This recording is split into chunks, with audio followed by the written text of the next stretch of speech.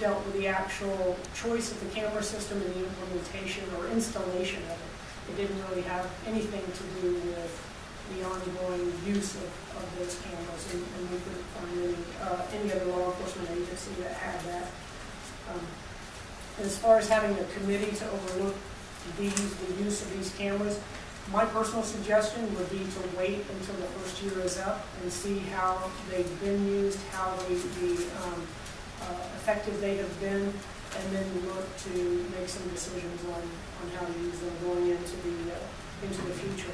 Now, the artificial intelligence, I think there's some misunderstanding with this. What the artificial intelligence uh, does on these cameras is it detects unusual behavior.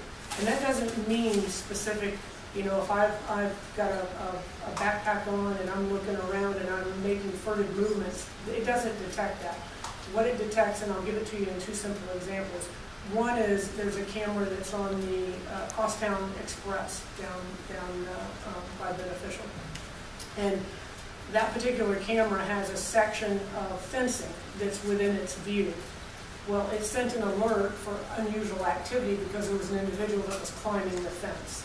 And that, you know, that doesn't occur in a normal uh, 24-hour progression. So it sent an alert for that. Another one is there was a, um, a boat that docked down in the, the uh, uh, Channelside district on a daily basis, you know, at a specific time, and then individuals would traverse that dock during that time.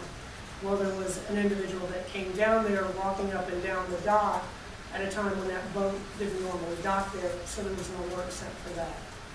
So I don't want there to be confusion that it's, we're looking at someone's specific behavior in a crowd and there's an alert that goes forward. It's just normal activity that occurs at a 24-hour basis. Anything that, that occurs that is out of the ordinary, then an alert will be sent. So that's the artificial intelligence.